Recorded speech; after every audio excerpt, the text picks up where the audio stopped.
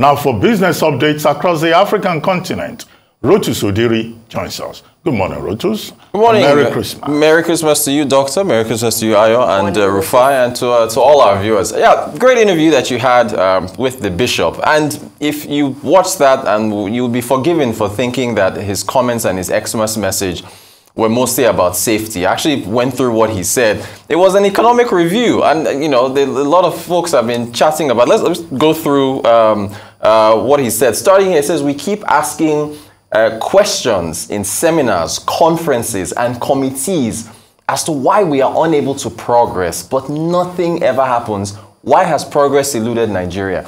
And that's, I don't know, his comments seem to, to, to reflect the fact that the economy permeates everywhere, whether you're in the religious circles or not. Uh, it says, who would have imagined after listening to the campaign speeches ahead of the 2015 elections that the new, the new president's inaugural speech, that will be worse off than where we were. Yet it could even get even worse if we do not pause and pause serious. He's uh, reflecting Ronald Reagan there, asking, um, are you better off now than you were four years ago? Who will quarrel with the fact that our glory has departed as a country? Where is our voice respected today even within the African continent, which looks up to us for leadership, unless we count lining up behind others for handshakes across Europe and America, see the US Africa Summit in Washington, D.C., as achievements, we will remiss not to worry about our declining global influence. Are we still influential? Are we still pushing our narrative across the continent and the world? He says no.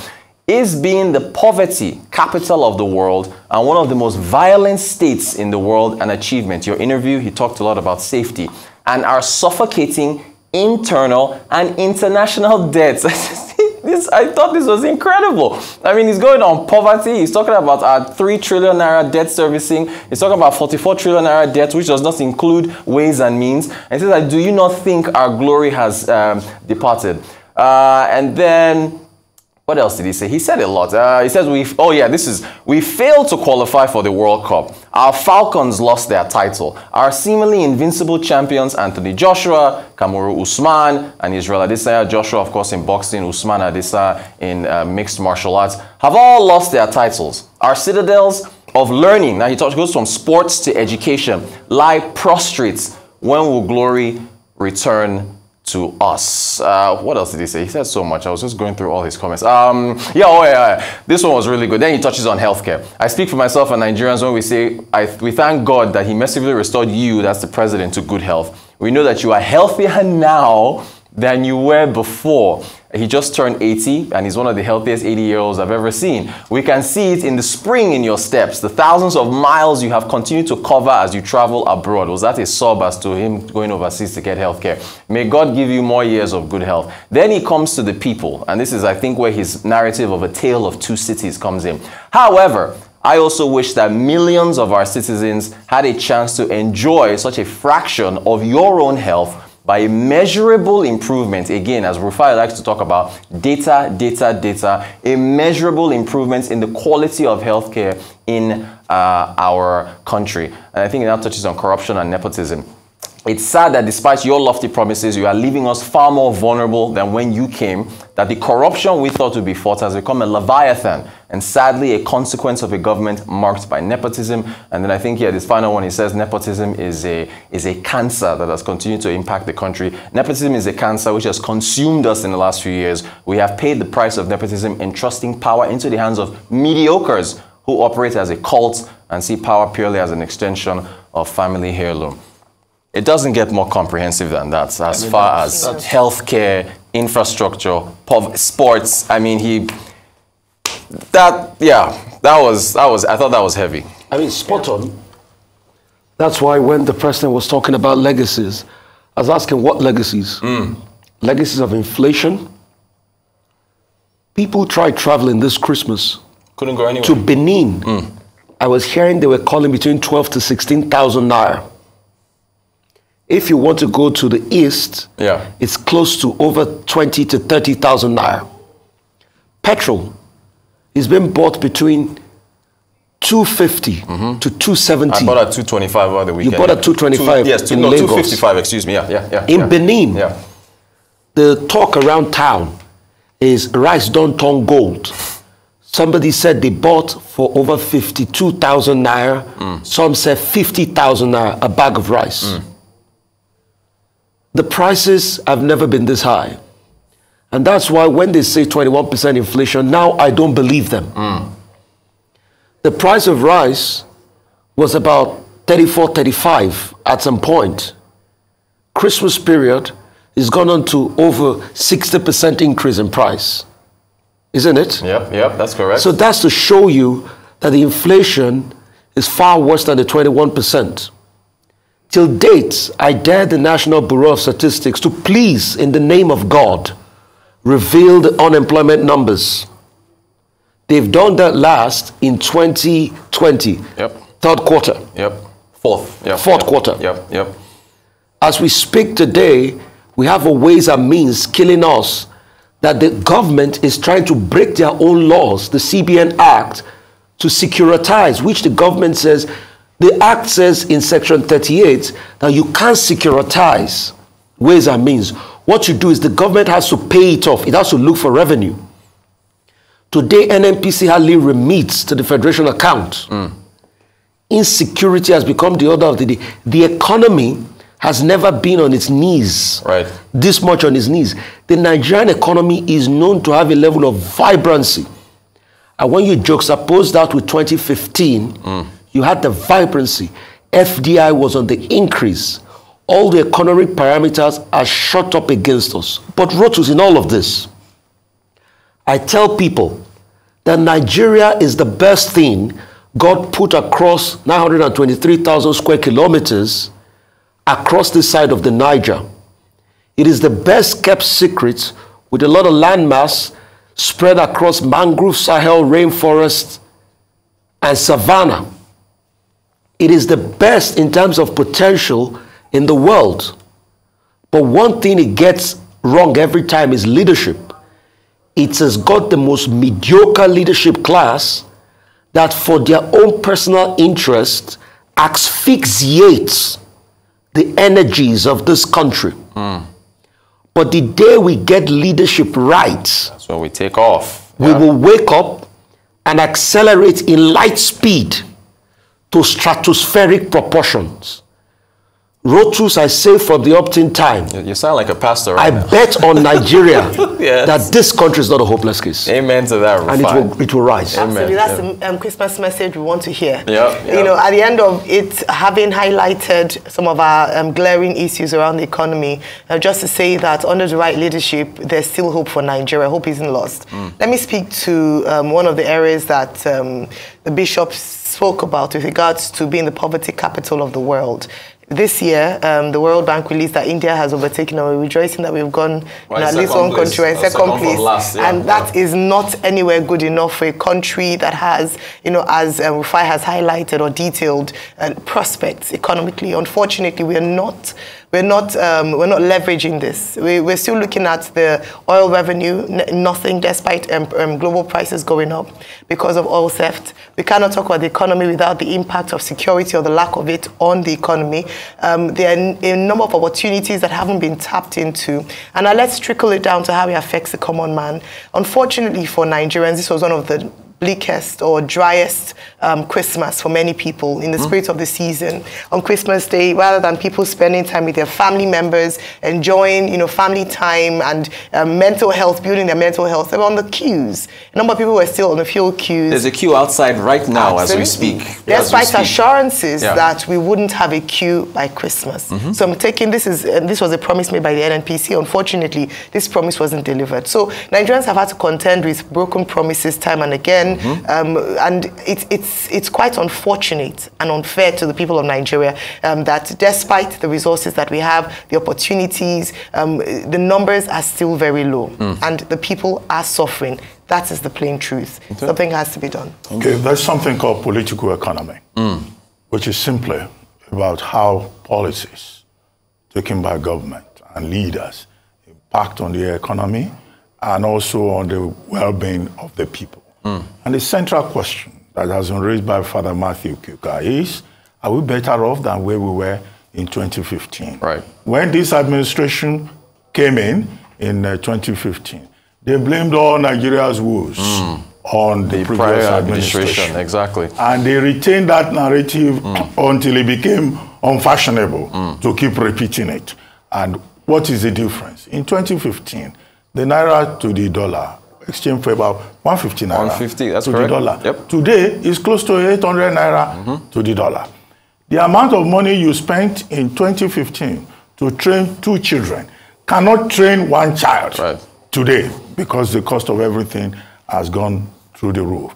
The uh, raging pandemic of uh, Empty empty, pockets. pockets. is something that we are all familiar with. So when Father Kuka lists all of these things, so he's describing the reality of our lives. What is uh, uh, instructive here, however, is that the APC, as I pointed out to him uh, uh, when he, he was on this show earlier, is saying that his uh, statements are ungodly and biased. What is ungodly? What is the bias in telling us, in reminding us of truth. the poverty of our lives? Yes. Even government itself has had to admit that inflation is over 21%. In reality, we, we know that uh, Professor Anke says that's not true. You know, that it's much higher. Yeah. And people can feel it in their lives. In 2015, a bag of rice was uh, less than 15,000 naira. If you give somebody a bag of rice uh, uh, in 2015, you would think that you were insulting because rice was considered cheap. Yeah, yeah. Today, people are begging to be given a bag of rice at Christmas because a bag of rice now has become very expensive. Rice has suddenly become a delicacy in uh, Nigeria. So this is the truth of the matter. But the APC saying this is ungodly and biased, I think they're wrong.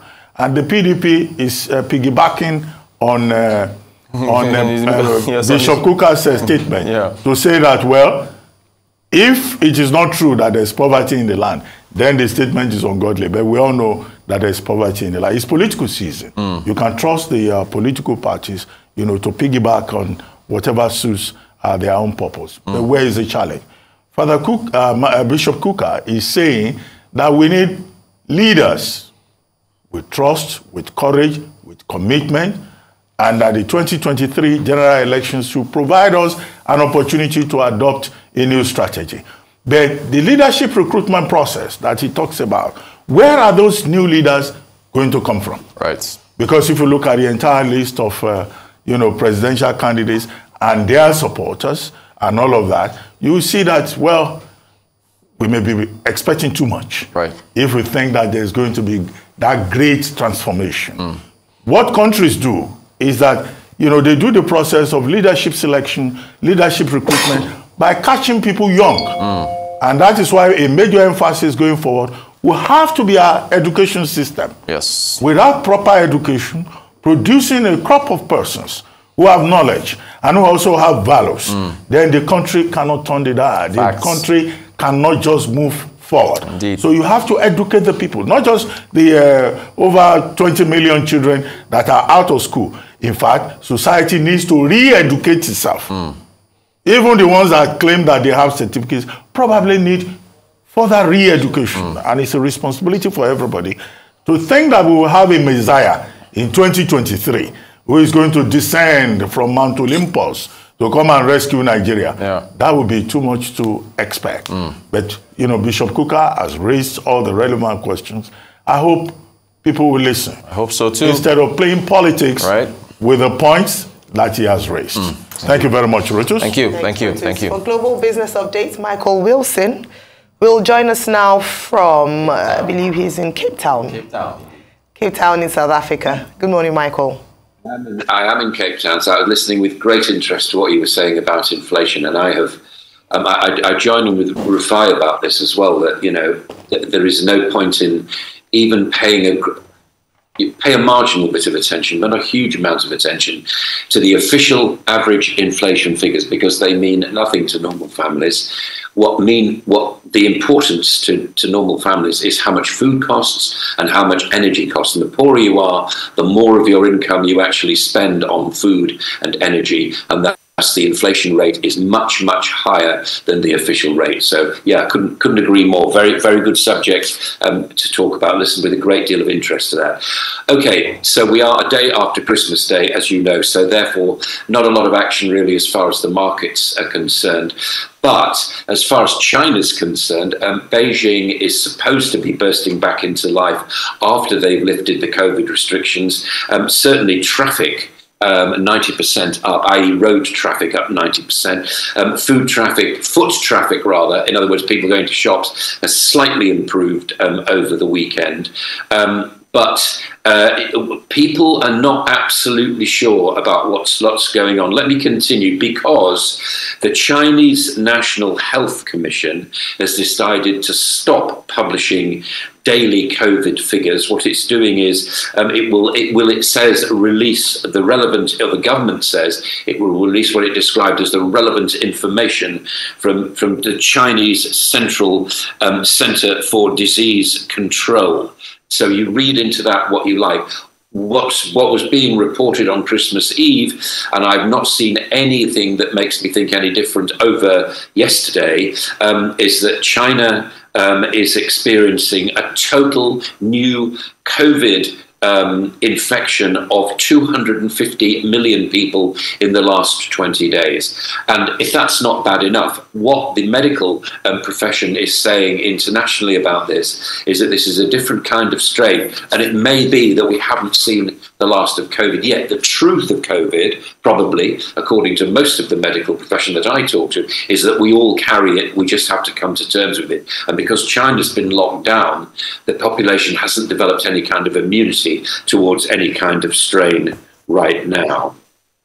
Tesla has suspended its production as a result of uncertainties as far as um, uh, as, as, far as COVID is concerned. Um, Shanghai has. Uh, is bringing bringing forward a previous plan to halt this at the end of December. Now it's actually halted it right now. Um, and uh, the, the, rising wave of, of, of, COVID infection, and also looking forward a shortage of skilled labour, which they're going to have to face. And we're getting a similar picture from Apple, which is actually um, its its uh, its forecasts are right down from for its for what's being produced by Foxconn in what's called iPhone City. This is Zhengzhou again because of these COVID lockdowns. And I was telling you um, before Christmas, for Christmas Day at least, about how. Um, Apple and other manufacturers are now looking to the, the, likes of India and Vietnam away from China because they want to be more sure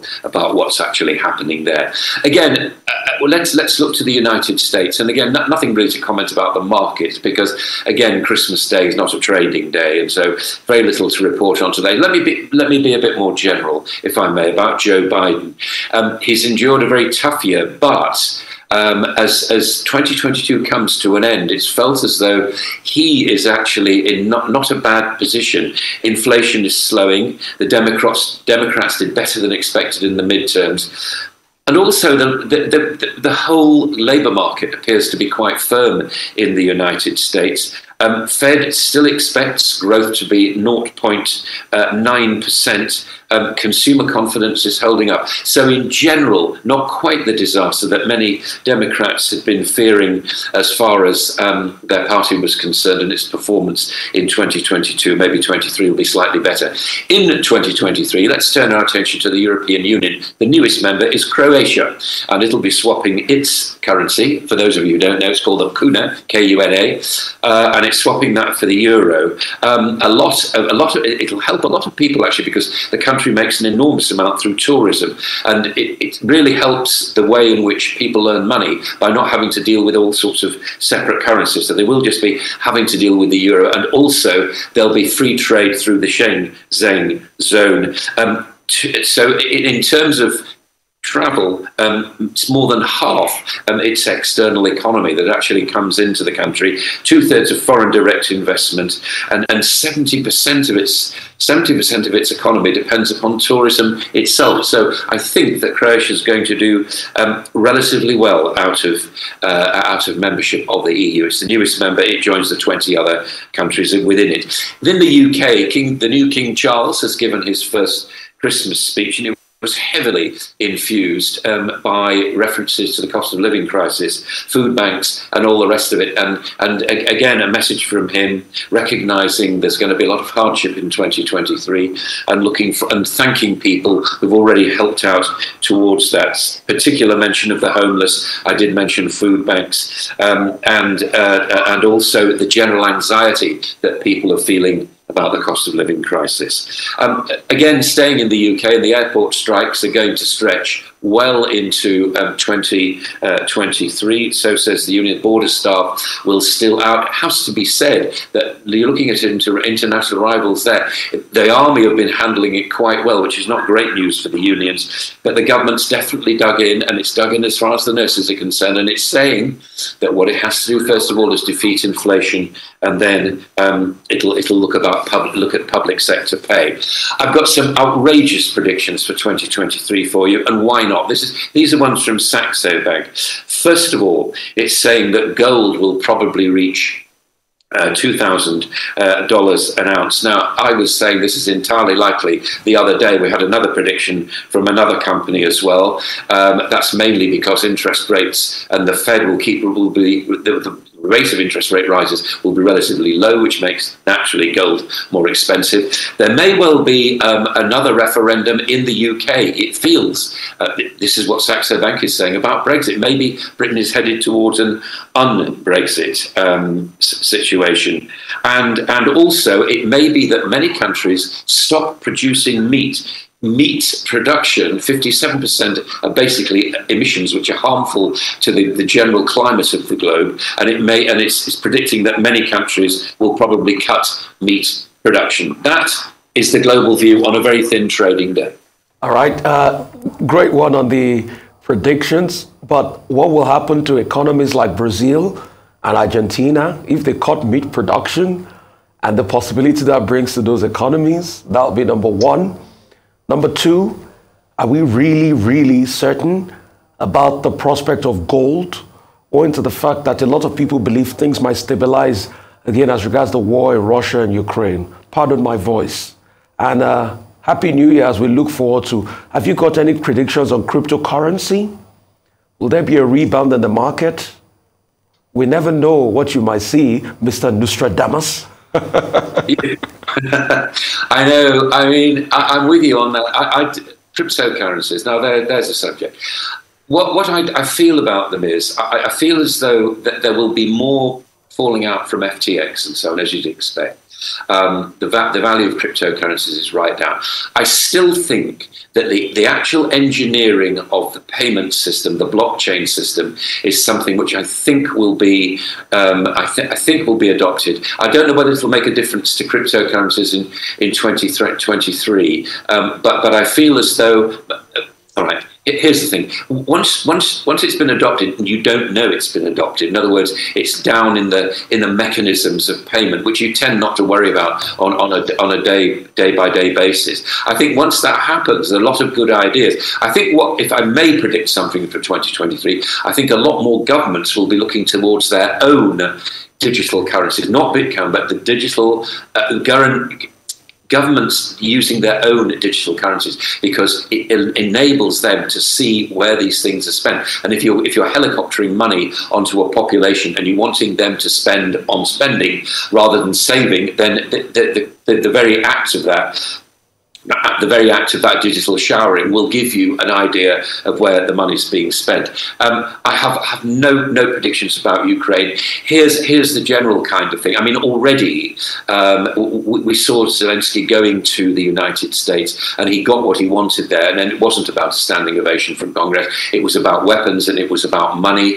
And I feel as though this is gradually grinding to an end. Where where the off ramp will be, I do not know. Where the West will lose patience with the war. I do not know. Um, all I know is that, that the British government is doing a, what it describes as a sort of cost benefit analysis of the money it's giving, and that is happening in the United States. And sure enough, lots of Republicans in the United States are now wondering when this war is going to end, and is it not time to get them round the negotiating table? And the headlines from Ukraine is not in the near future. Now, if I were the leader of Ukraine, I'd be saying exactly the same kind of thing. I, I, think think these things are too important to second guess, but I think they'll the, the whole development will keep us on our toes um, throughout 2023. As far as the likes of Argentina are concerned, I mean, look, good luck to them with the World Cup and all the rest of it. But to see that the deification of Lionel Messi uh, and, and also, you know, the general rejoicing in the streets. Unfortunately, it takes away the, the, the, the, public's attention. I mean, good luck to them and let them celebrate forever and all the rest of it. But the real economic realities of a place with 80% inflation,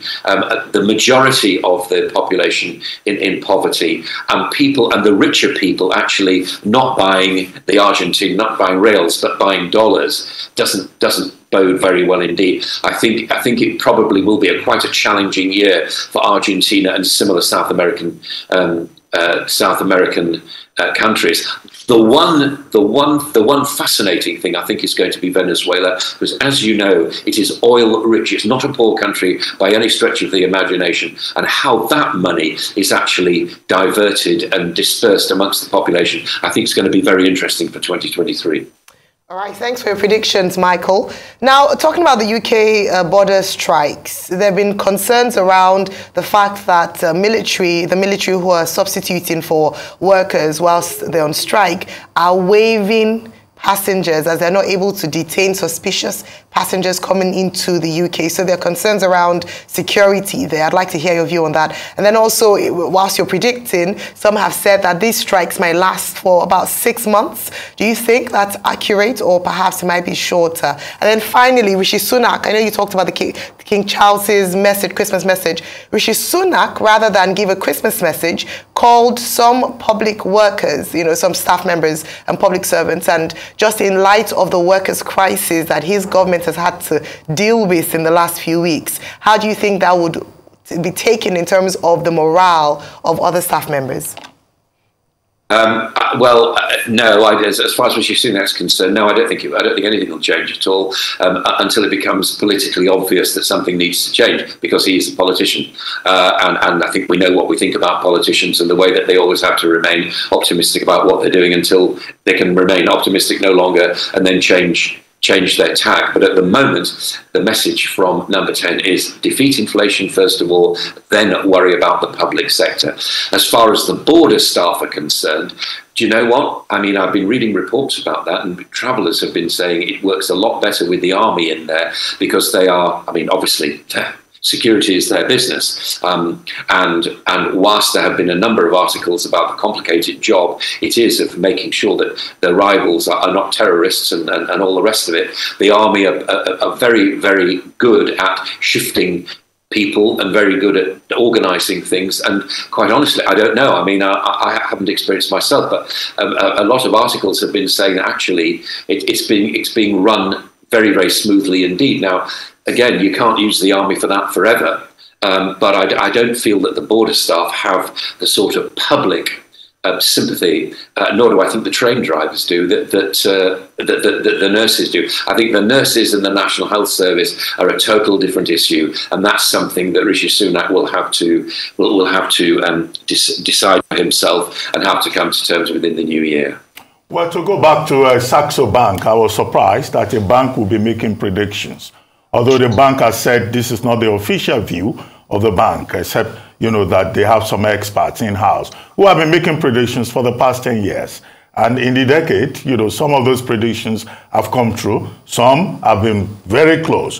One of the things that the bank is predicting is that uh, there will be the resignation of the French president Emmanuel Macron. Would that happen? What will lead to that? And they're saying that Rishi Sunak and uh, and uh, Jeremy Hunt, will so badly mismanage the British economy that, uh, you know, they will take the rating of the Conservative Party to an all-time low.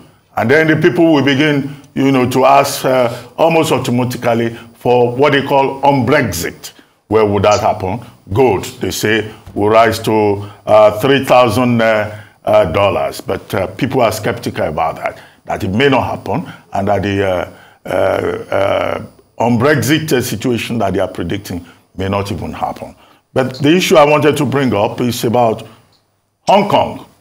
Hong Kong says it's going to take corresponding action because the US is insisting that uh, the US has broken WTO trade rules, rules-based international trade rules, by insisting that products from Hong Kong should be marked made in China and not made in Hong Kong. Hong Kong took his case to the WTO. WTO has found in its favor, but the US is saying this is a matter of national security and that it's in response to what was done uh, when China imposed national security law on Hong Kong. Uh, but Hong Kong saying corresponding action. What corresponding action can uh, Hong Kong possibly take against, uh, against the United States? And then finally, uh, Russia says it's ready to resume gas supplies to Europe via the Yamal Europe uh, pipeline. Uh, the Yamal Europe pipeline, you recall, passes through Poland. When uh, Russia insisted that uh, Poland should pay in rubles and Poland refused, then they shut down uh, that pipeline. But now uh, the foreign minister says that pipeline has not been used, so they want to reopen it. But who is going to, uh, uh, you, where are the uh, off-takers? Although they want to open new lines to Asia, to Afghanistan. What do you think? How significant is that decision by the Kremlin to reopen that Yamal Europe pipeline for gas? That's sounds to me like Russia is thrashing around, basically looking for look, looking for customers, realizing that.